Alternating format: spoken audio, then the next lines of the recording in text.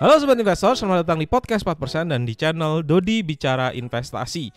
Hari ini adalah akhir bulan Mei dan biasanya setiap satu bulan sekali saya akan mereview secara lengkap bagaimana dana pensiun saya bekerja, apa saja perkembangannya, dan bagaimana caranya saya menghitung dana pensiun, serta apa saja kriteria-kriteria saya dalam memasukkan reksadana ke dana pensiun. Karena tidak sedikit ada sobat investor yang baru bergabung atau baru join melihat channel ini di akhir-akhir. Nah, ini adalah tampilan dari aplikasi Bibit di mana ini adalah aplikasi yang saya gunakan untuk membangun dana pensiun saya. Oke, kita akan coba lihat satu persatu ya. Nilai portfolio saya pada akhir bulan ini adalah 944 juta di mana keuntungannya itu setara dengan 207 juta dan imbal hasilnya plus 28,22 persen. Ini meningkat dari akhir minggu lalu karena memang pasar saham sepanjang satu minggu ini mengalami peningkatan. Nah di Bibit kita diizinkan untuk melihat perkembangan dari portfolio kita di sini dan kita bisa klik di sini lihat performa portfolio dan sobat investor bisa melihat perkembangan portfolio dari awal berinvestasi pelan-pelan naik dan sampai sekarang itu berhasil menyentuh angka 944 juta bahkan sempat dalam satu titik dana pensiun saya itu berjumlah sekitar 978 juta rupiah. Nah ini perkembangan dalam satu hari terakhir itu adalah naik sebesar plus 2,3 persen atau naik 16,9 juta dalam satu bulan. Masih mengalami penurunan ya. Di dalam tiga bulan terakhir dana pensiun saya masih naik plus 4,9 persen. Year to date dari awal tahun sampai sekarang itu naik plus 10,26 persen. Sepanjang satu tahun terakhir naik sebesar plus 17,65 persen dan sampai sekarang itu adalah naik sebesar plus 28,22 persen. Untuk menentukan dana pensiun, saya menggunakan konsep yang namanya the 4% rule, di mana konsep ini terinspirasi dari sebuah penelitian yang mencoba untuk menentukan berapa persen sih angka yang aman untuk ditarik dari aset investasi tetapi aset investasinya tidak habis-habis meskipun kita tarik terus angka tersebut setiap tahun. Nah, konsepnya sebenarnya simple. Apabila kita punya dana pensiun di sini, kemudian dana pensiun tadi menghasilkan pasif income, misalnya pasif income-nya adalah plus 9% per tahun, kemudian kita ambil hanya 4% saja untuk memenuhi kebutuhan setahun dan sisanya kita putarkan kembali ke dana pensiun, maka dana pensiun kita itu tidak akan habis-habis meskipun kita tarik sebesar 4% setiap tahunnya. Nah, dari rumus inilah kita mencoba untuk menurunkan ya, apabila 4% dikalikan dana pensiun sama dengan kebutuhan setiap tahun, maka dana pensiun sama dengan 1 dibagi 4% dikalikan kebutuhan tahunan, maka ketemulah dana pensiun sama dengan 25 kali biaya hidup tahunan. Nah, kita akan coba lihat spreadsheet ini ya. Di sini sobat investor harus memasukkan berapa biaya hidup sebulan. Kalau saya sekeluarga biaya hidup sebulannya sekitar 13 juta rupiah.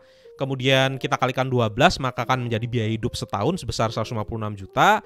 Dengan menggunakan the 4% rule maka dana pensiun kita itu adalah 3,9 miliar. Permasalahannya adalah dana pensiun saya yang ada di bibit itu masih kurang dari 3,9 miliar. Artinya kita tidak bisa pensiun pada saat ini. Nah, kita harus rencanakan kira-kira kita mau pensiun secara realistis berapa tahun lagi. Di sini saya asumsikan akan pensiun sekitar 13 tahun lagi dan otomatis pengeluaran kita pada tahun ini dan 13 tahun daripada sekarang itu akan berubah. Saya akan masukkan kenaikan biaya hidup sebesar 5% per tahun, maka akan ketemulah faktor inflasi itu sebesar 1,89 kali. Artinya biaya hidup di 13 tahun yang akan datang itu sekitar 1,8 kali lebih besar daripada sekarang. Kalau biaya hidup tahunan sekarang 156 juta, maka biaya hidup 13 tahun lagi itu menjadi 294 juta. Kita kalikan 25 ketemulah dana pensiun sekitar 7,35 miliar. Nah, setelah kita tahu dana pensiun kita berapa, kita perlu menghitung berapa kebutuhan nabung rutinnya kita. Pertama yang kita harus lihat adalah apakah kita sudah punya modal atau tidak ya. Modal saya per hari ini itu adalah 944 juta yang ada di dana pensiun. Kemudian kita harus kira-kira berapa keuntungan dari investasi kita. Saya di sini pakai robo advisor level 10 di mana pasar uang itu 10% bobotnya, reksadana obligasi 20% dan reksadana indeks itu sebesar 70%. Ini adalah historis dari returnnya maka kalau kita kalikan bobot dan ekspektasi return, maka ketemulah angka 10,4%. Ini yang nanti kita masukkan di ekspektasi return 10,4%. Nah, dari sini kita bisa menggunakan kalkulator PMT dan ketemulah jumlah nabung rutin tahunan kita adalah sebesar 156 juta rupiah. Dan jumlah nabung rutin bulanan itu sebesar 13,03 juta per bulan agar dana pensiun 7,354 miliar ini bisa tercapai dalam 13 tahun. Oke, kita kembali ke aplikasi Bibit, kita klik di sini dana pensiun. Dan yang perlu kita lakukan adalah kita masukkan target dana pensiun kita. Saya memasukkan target 7,5 miliar di sini saya bulatkan dan sebenarnya Bibit juga sudah menghitung ya kebutuhan yang harus ditabung setiap bulannya dan di sini kebutuhan nabung rutin bulanannya adalah 8,7 juta, lebih rendah daripada yang kita rencanakan. Ada kemungkinan asumsi return dari Bibit itu lebih agresif daripada asumsi return yang saya pakai sebelumnya. Nah, kita akan coba lihat ya komposisinya seperti apa tadi saya sudah ceritakan kalau saya memakai profil resiko 10 di mana profil resiko 10 itu disusunkan pasar uang sebesar 10%, obligasi sebesar 20% dan reksadana saham sebesar 70%. Kita akan coba lihat ya untuk reksadana pasar uang. Saya memakai di sini yang namanya Sukor Invest Money Market Fund. Dan di sini ada Manulife Dana Kas Syariah. Ini adalah hasil dari cashback bagi sobat investor yang memakai kode referral Dodi Bicara Investasi.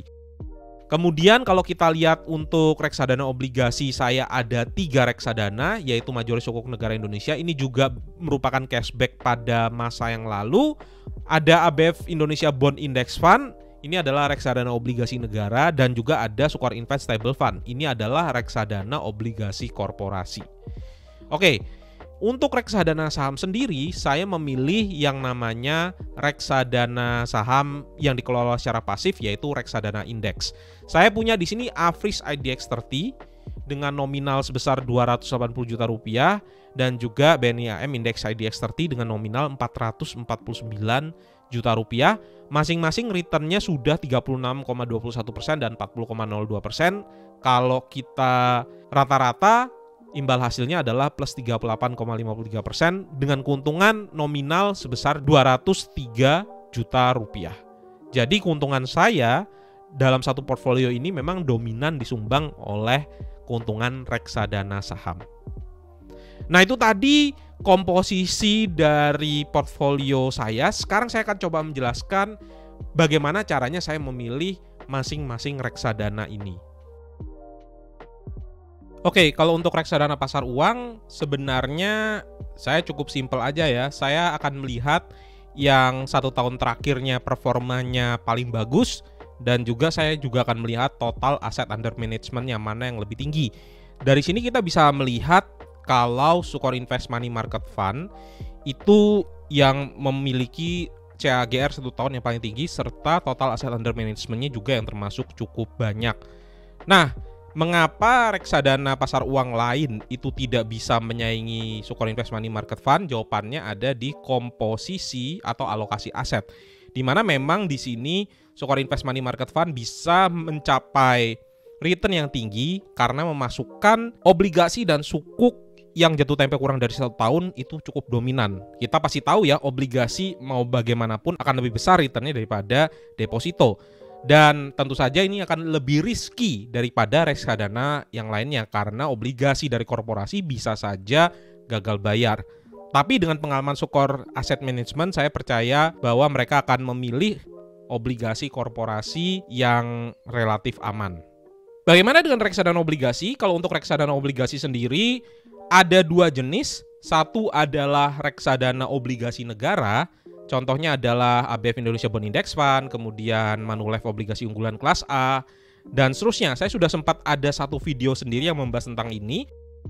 Untuk reksadana obligasi negara pilihan saya adalah di reksadana indeksnya karena expense ratio-nya lebih rendah dan juga Kalau kita lihat di return 3 tahun terakhirnya itu adalah sekitar 8,32 persen ya CAGR rata-ratanya.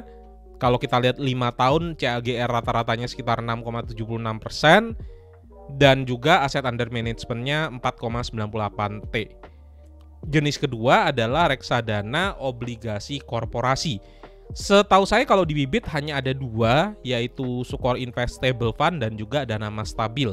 Dan kalau kita lihat secara performa, expense ratio-nya lebih rendah dan CAGR-nya lebih tinggi, maka saya pakai Sukor Investable Fund.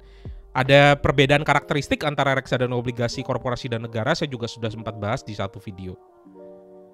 Nah, bagaimana dengan reksadana saham? Kalau di reksadana saham sebenarnya juga ada dua jenis. Satu adalah reksadana saham yang dikelola secara pasif yaitu reksadana indeks dan yang kedua adalah reksadana saham yang dikelola secara aktif yaitu reksadana saham. Nah, reksadana indeks sendiri ada beberapa indeks yang ada di Bibit ya, ada indeks IDX30, di mana kalau IDX30 ini ada punyanya BNI AM, ada juga punya Afris dan juga ada punyanya Principal. Kalau untuk indeks Sri Kehati ada BNP Paribas Sri Kehati, ada juga reksadana syariah ya, dana reksa indeks syariah. Dan yang paling baru itu adalah reksadana indeks FTSE Indonesia ESG, keluaran dari Mandiri AM. Mengapa saya lebih memilih reksadana saham yang dikelola pasif yaitu reksadana indeks walaupun kalau kita lihat ada juga reksadana-reksadana yang performa lebih tinggi daripada reksadana indeks? Jawabannya adalah cukup simpel saya tidak mencari reksadana saham terbaik, tetapi saya mencari reksadana saham yang performanya sama dengan pasar. Permasalahannya adalah kita bisa saja melihat reksadana saham ini adalah punya track record yang bagus sepanjang lima tahun terakhir, tetapi lima tahun ke depannya apakah mereka akan tetap konsisten mengalahkan pasar? Saya tidak punya insight reksadana mana yang performa masa lalunya bagus dan tetap bisa menjaga performanya sampai 5, 10, 15 tahun ke depan dengan expense ratio yang jauh lebih tinggi dibandingkan dengan reksadana indeks. Nah, kalau sobat investor memang punya insight tersebut dan sangat yakin dengan reksadana saham non indeks yang bisa mengalahkan pasar atau mengalahkan market secara konsisten, maka silahkan aja, boleh-boleh saja untuk memilih reksadana saham favoritnya. Oke, itu tadi sedikit penjelasan saya tentang topik pada hari ini. Sampai jumpa kembali di episode-episode selanjutnya. Bye.